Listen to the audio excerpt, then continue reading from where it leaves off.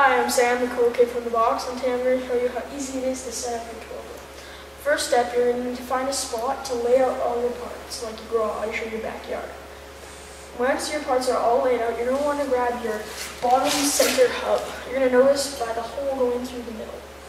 And the bottom is the, the holes in the corners, and the top is the holes in the center.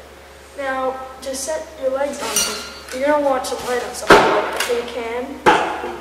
That's what I use. And then you're going to need to grab a leg. Once your leg in your hand, and you need to grab the parts. A pan head screw, a pan head bolt with Phillips top, nut, and washer. And the leg goes underneath with the bolt coming from over top. Then your washer, then your nut. Now after you've attached all four legs, you're going to want to put some braces, bracers on to hold the legs in place. You're going to need eight bracers, eight metal washers, eight plastic washers, four medium length bolts, and four nuts. To start, to start off, you're going to take one medium length bolt, a metal washer, then a bracer, then a plastic washer, slide it through the hole in the middle of the leg. Then you're going to put another plastic washer on, then another bracer, then another metal washer, then another. You're going to want to do this for all four legs. After you've bolted the braces to the legs, you're going to want to bolt the braces to the center hub. For this step, you're going to need eight metal washers, four nuts, and four hex head bolts. It's also helpful in this step if you have a buddy who will lift up the center hub while you slide the hex head bolt through the two braces into the center hub. You're going to put a washer on the bolt before you slide it through the two braces. Then through the center hub. Then after, you're going to put another washer and a. Remember, you're not tugging anything at this point. You're going to do this for all four. After you've got the braces, braces attached to the central hub, you're going to tighten all the other bolts. And after you finish tightening all the bolts on the leg assembly, you can grab the other hub and we'll work on the arms. So you're going to need four pan head bolts, four nuts, and four metal washers. So take an arm with the flat end up and place it on top of the bottom piece. Slide a pan head bolt through the bottom, then place a washer on top, then screw a nut on that. Do this for both arms. Now that you have the arms bolted to the hub, your next step is to bolt the bracers to the arms.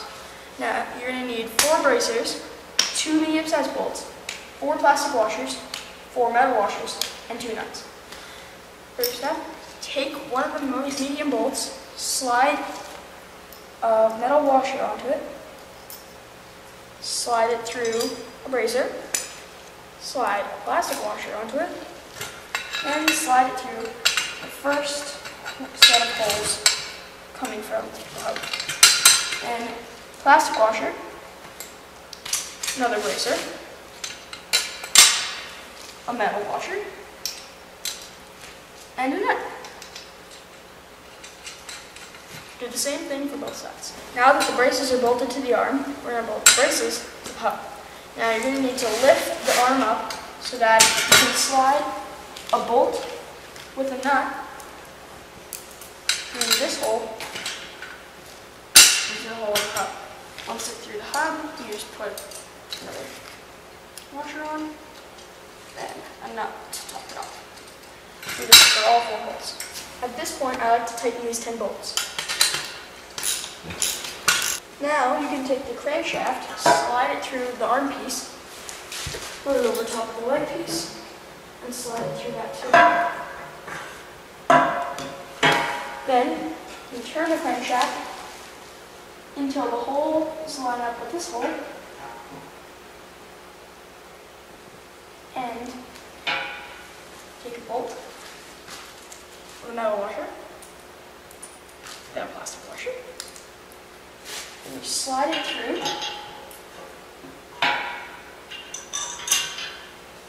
And you pick another plastic washer.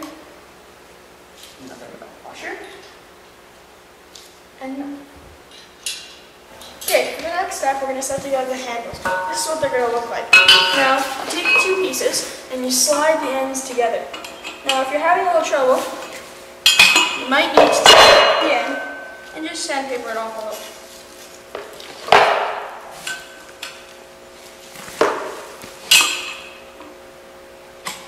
Once you have it started, feel free to take a rubber out and it. You're putting the handle together, make sure you leave about a half inch space so it's easier to slide onto the seat arm. Now, my friend Nelson here I'll hold up this uh, handle while I slide a bolt through. The bolt, is a long bolt with a metal washer and plastic washer. Once it's through the first part of the handle, put a plastic washer on in between, then slide it through the seat arm. Once it's through the seat arm, put another plastic washer on, and slide it through the rest of the handle.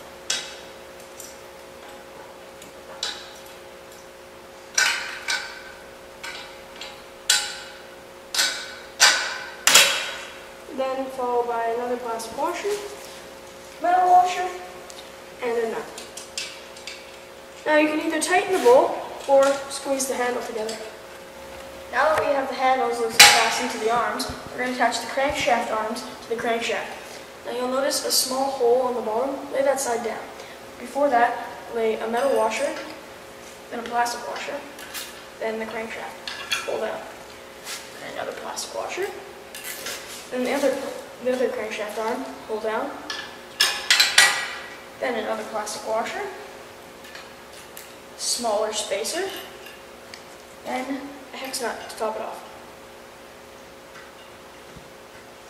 Now that we have the crankshaft fastened to the crankshaft, we're going to take the crankshaft arm and attach it to the handle.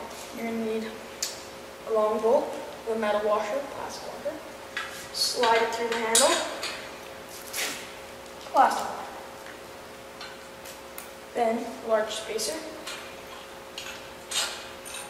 then the crankshaft on itself,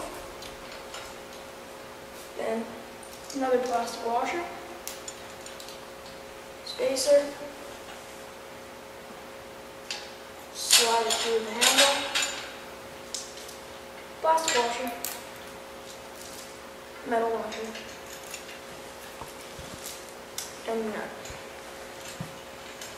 Do this for both sides. At this point, we can tighten the crankshaft nuts and the hand nuts, just until they're snug. Make sure your Twirl-Go-Round twirls freely. If it doesn't, you may have over-tightened the bolts on the handles. You'll notice a little piece of bolt sticking out. Just take another nut and tighten them together. Next, we'll do the seats. Place the seat on the end until the holes line up. Slide a pan panhead bolt through. Put a washer on the bottom. Another bolt. Do this for both seats. With your Twirl-Go-Round comes a Twirl-Go-Round sticker. I like to put it on the light, but you can put it wherever you want. Now, make sure before every use, you check over your nuts and bolts just to make sure they're tight. Happy twirling!